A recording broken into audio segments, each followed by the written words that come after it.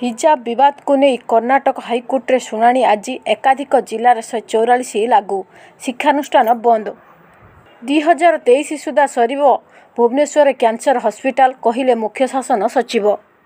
ବାର ସହରରେ ତାପମାତ୍ରା ସଇଁତିରିଶ ଡିଗ୍ରୀ ଉପରେ ଆସନ୍ତା ଦୁଇ ଦିନରେ ମଧ୍ୟ ଚାଳିଶ ଡିଗ୍ରୀ ଯାଏ ତାପମାତ୍ରା ରେକର୍ଡ ହେବାର ସମ୍ଭାବନା।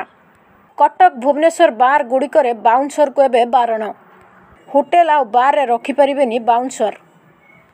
ମାଲକାନଗିରି ଜିଲ୍ଲା ମୁଖ୍ୟ କୃଷି ଅଧିକାରୀଙ୍କ ଘରେ ଭିଜିଲାନ୍ସ ଚଢ଼ାଉ। ଭୁବନେଶ୍ୱର ନୟାପଲ୍ଲୀ ଅଞ୍ଚଳରେ ଗୋଷ୍ଠୀ ସଂଘର୍ଷ ଖଣ୍ଡା ଆକ୍ରମଣରେ ଦୁଇ ଗୁରୁତର।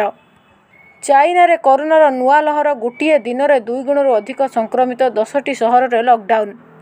ରାଜ୍ୟରେ ଗତ ଚବିଶ ଘଣ୍ଟାରେ ଅଠସ୍ତରୀ ସଂକ୍ରମିତ ଚିହ୍ନଟ ଶହେ ସାତ ସୁସ୍ଥ। ଗୋଟିଏ ଦିନରେ ଛଅ ହଜାର ବିଶିଷ୍ଟ କୋଭିଡ୍ ହସ୍ପିଟାଲ ତିଆରି କରି ଏବେ ଚର୍ଚ୍ଚାରେ ଚାଇନା। ବଦଳିଲା ଦି ହଜାର ବାଇଶ ଆଇପିଏଲ୍ର ନିୟମ। ଏଥର ଖେଳାଯିବର ଅଲଗା ପ୍ରକାର ଟୁର୍ଣ୍ଣାମେଣ୍ଟ ମ୍ୟାଚ୍। ପୂର୍ବତନ କେନ୍ଦ୍ରମନ୍ତ୍ରୀଙ୍କ ଚୋରି ହୋଇଥିବା ମୋବାଇଲ ଫୋନ୍ ବାର ଘଣ୍ଟା ମଧ୍ୟରେ ଉଦ୍ଧାର ଅଭିଯୁକ୍ତ ଗିରଫ। ମିସାଇଲ ପଡ଼ିବା ପରେ ପାକିସ୍ତାନ ଛାନିଆ ତିନି ବରିଷ୍ଠ ଅଧିକାରୀଙ୍କୁ ଚାକିରିରୁ ତଡ଼ିଦେଲା। ରୁଷ ୟୁକ୍ରେନ ଯୁଦ୍ଧ ଓ ଏହାରି ଭିତରେ ୟୁକ୍ରେନରୁ ଫେରିଛନ୍ତି ଘଟଗାଁ ଛାତ୍ର। ଦି ହଜାର ଚବିଶ ପାଇଁ ଉତ୍ତରପ୍ରଦେଶରେ ପୁଣି ଥରେ ରଣନୀତି ପ୍ରସ୍ତୁତ କରିବେ ପ୍ରିୟଙ୍କା ଗାନ୍ଧୀ। ଆମେରିକା ଗୁଇନ୍ଦା ଅଧିକାରୀଙ୍କ ସୂଚନା। ଦାଗରେ ଜଳୁଛନ୍ତି ପୁଟିନ।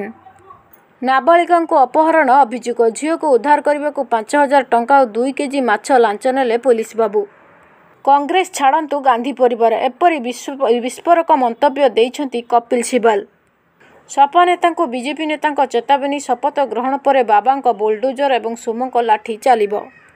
ପୁଟିନଙ୍କୁ ଖୋଲା ଚ୍ୟାଲେଞ୍ଜ ଦେଲେ ମହାକାଶଯାନ ନିର୍ମାତା ସ୍ପେସ୍ ଏକ୍ସର ମାଲିକ ଏଲନ୍ ମାସ୍କ କହିଲେ ସାହସ ଥିଲେ ମୋ ସହ ଲଢ଼।